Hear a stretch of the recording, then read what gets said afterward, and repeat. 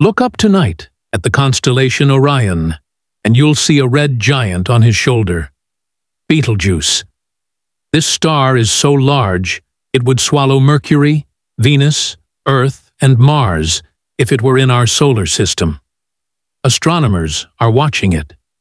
Because Betelgeuse is about to die.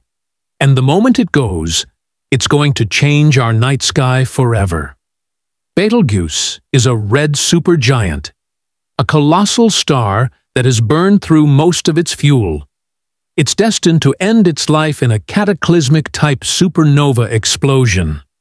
Since Betelgeuse is roughly 650 light-years away, there's a good chance it already exploded centuries ago, and its death flash is simply traveling across space to reach us. When the light arrives, it will become the brightest celestial event in modern history. For months, the supernova will shine in our sky with the brilliance of a half-moon, easily visible even in broad daylight. That is why NASA monitors it constantly, not out of fear of destruction, but out of excitement for an unprecedented scientific opportunity. In late 2019, Betelgeuse suddenly and dramatically dimmed, losing almost two-thirds of its brightness. The event, dubbed the Great Dimming, led to global speculation. Was this the final moment?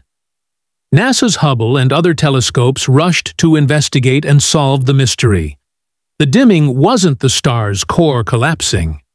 Instead, Betelgeuse had suffered a massive surface mass ejection, literally blowing off a huge bubble of hot plasma.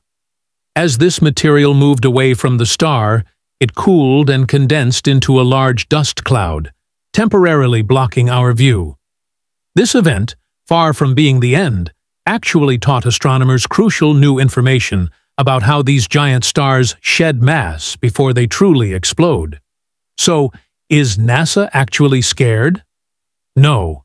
Betelgeuse is too far away. At 650 light-years, its radiation will pose zero threat to life on Earth. But when this massive star finally ignites, it will be the scientific event of the century. Keep looking up, because any day now, we might witness a spectacular celestial phenomenon that has been 650 years in the making.